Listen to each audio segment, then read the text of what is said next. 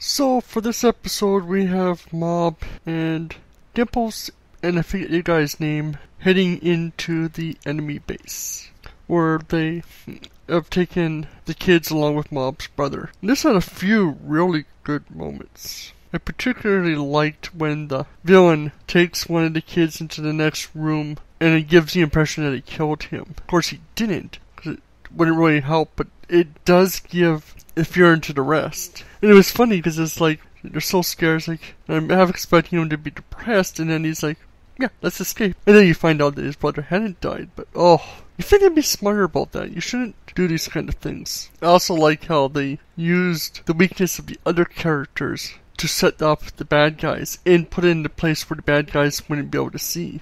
But then Mob shows up, and of course the bad guys send a guy to go after Mob, and Mob just mops the floor with the guy, of course, which was hilarious.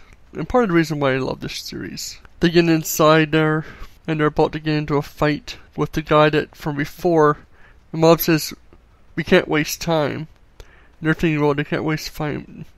Fighting, no. Mob just goes, just pounds the guy into the floor, the roof, the the walls, everything, and just outright knocks the guy out. So now we got two groups. We got Mob's brother, and then Bob, Dimple, and the other guy who are going to or trying to meet up. And I love this series.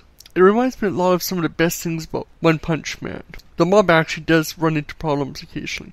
He's powerful, but he's kind of like Goku in that he doesn't go all out. Though I think Mob's slowly starting to let himself go all out in this situation because these are guys that are too strong for him to just cuddle like he did with the first fight against the other guy. So I'm curious to see where this series goes. What about you guys? You guys enjoying it? It's a great series with some really nice characters and fun. Plus, I love that theme song.